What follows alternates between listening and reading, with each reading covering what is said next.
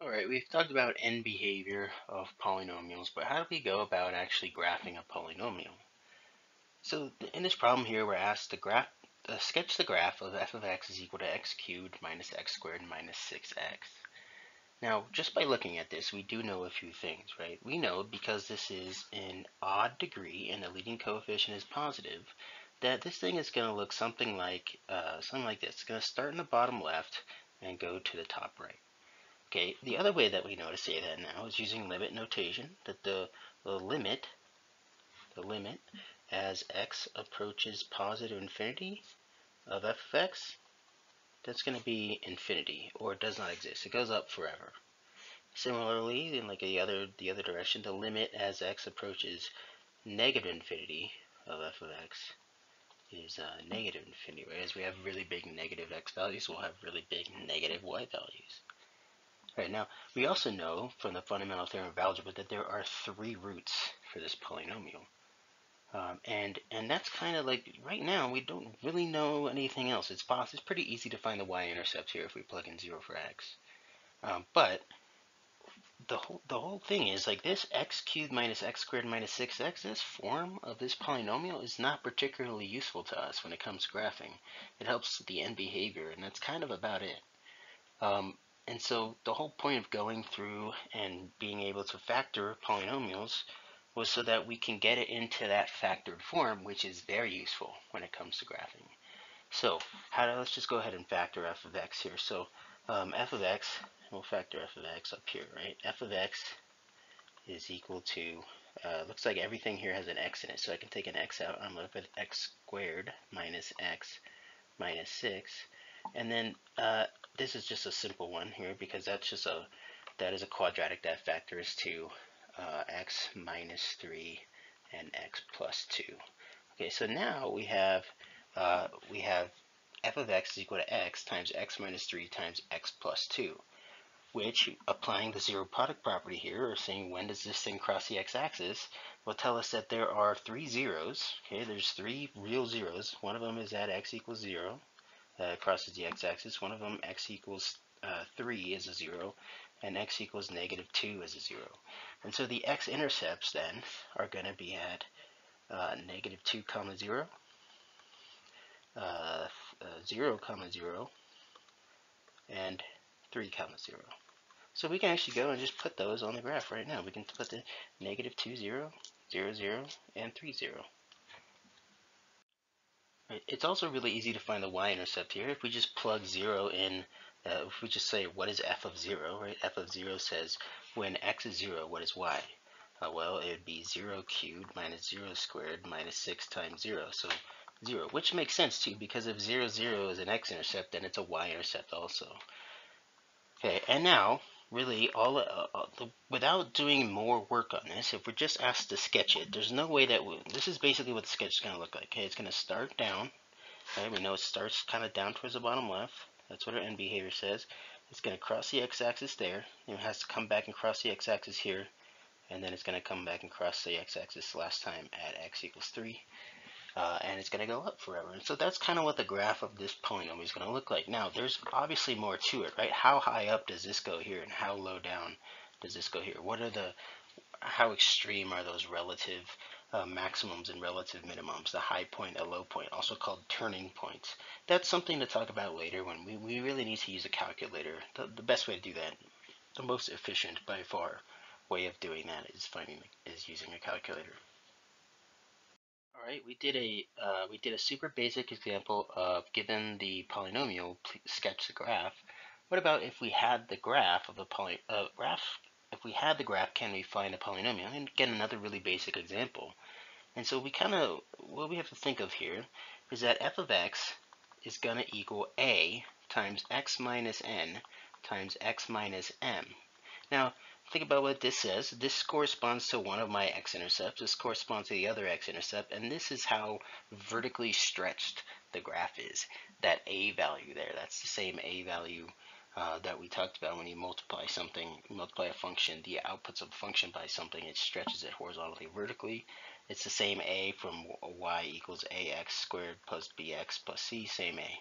Okay, so uh, we can kind of work backwards here. We can look over at this graph and say that we have this point right here, which is 3, 0, and we have this point right here, which is negative 1, 0.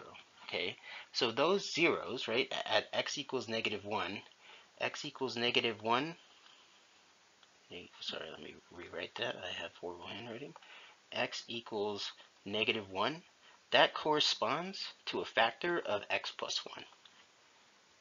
And the x equals 3, that corresponds to a factor of x minus 3. Okay, we know this is an even degree polynomial because both ends go up, and it looks to be a second degree polynomial. And we know that a, the, leading, the value of the leading coefficient, is also going to be positive because it goes up.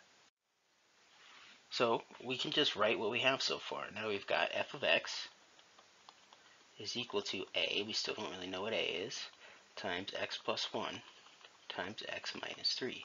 Now, because we're talking about an x and y coordinate system, when we say f is a function of x, f uh, function of f is a function of x, is, it's really y is equal to a times x plus 1 x minus 3 because x is the inputs and y is the outputs. So f of x is the outputs, y is the outputs.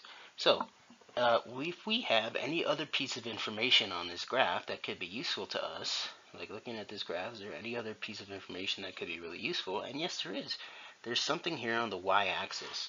This y-intercept is 0, comma, negative 3. So this is, and it doesn't need to be the y-axis, uh, the y-intercept that we have. We have a point, xy, that is on this graph. And this equation here describes all the points xy on this graph. So if we plug in this specific xy point that we know, then we can find a. And so that's what we'll do. For, uh, for y, we're going to plug in negative 3 that equals a times and then 0 plus 1 because x is 0 0 minus 3 x is 0 so we'll have negative 3 equals a times 1 times negative 3 so negative 3 equals a times negative 3 so a is just going to be 1 here. So that helps us by um, you know like if a, a could have been anything there but in this particular example it was just 1 and so now we can actually write more about what we know about this polynomial. Okay it's f of x is equal to 1 times x plus 1 times x minus 3. And then if we wanted to multiply it out, which we don't really have to do, but if we wanted to, we could say that this polynomial f of x is equal to x squared minus 2x minus 3.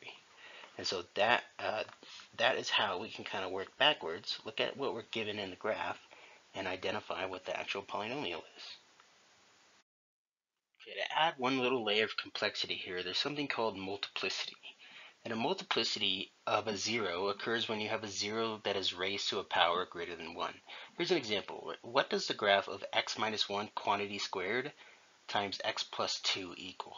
Well, just like in the previous example, we can we can take these, or actually two examples ago, right? We can take this factor and say that if x minus 1 is a factor, then it cross then it crosses the x-axis at 1 or there's a 0 at 1 but now we say there's a multiplicity as the, the 0 of 1 with a multiplicity of 2 and so if I could put this dot right here we're going to put that there for now and then come back to it. Okay and then we have x plus 2 is also a 0 as sorry is also a factor which means x which means minus 2 negative 2 would be a 0 now, this is going to be, if we took the x squared from this term and multiplied by the x in this term, we'd have a third degree polynomial. Okay, third degree. So it's odd, right? And the leading coefficient is positive. So we know that this should do something like this. Okay, it should start bottom left, go top right. We know like the limit, we could write it out, the limit uh, as x approaches infinity of f of x would be uh, positive infinity, and the limit as x approaches negative infinity of f of x would equal negative infinity.